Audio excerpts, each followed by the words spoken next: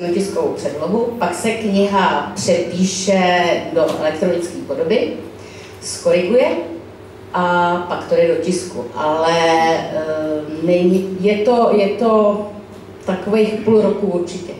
Kolik těch výtisků na světě existuje?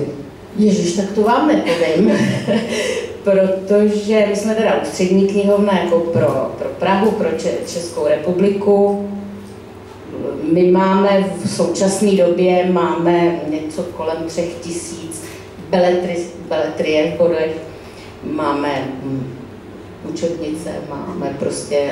Když se, pardon, když se zeptám vysloveně na tenhle výtisk, ten je v jednom jediném vydání nebo jich je víc? Eh, je to, vždycky tiskneme dva, dva výtisky a pak se dělají jakoby reedice.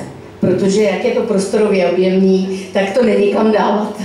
Tak tohle, dámy a pánové, budeme pochopitelně křtít také, jenom ještě jednou upozorňuji, ano. Ještě jsem chtěla říct, že to je vlastně pro pana Boudníka překvapení. Ještě to neviděl. On to neviděl ještě? Ne, ne, ne, ne. A dokonce jsem mu tady připravila uh, abecedu, kdybych, kdybych chtěla zkusit si něco přečíst, anebo zjistit, jestli, protože my musíme knížky, uh, nesmíme upravovat, takže je to od, posledního, od prvního do posledního písmenka převedený, tak kdybych chtěl kontrolu, tak si to můžu přečíst. Můžete to i ověřit, pane Vodníku.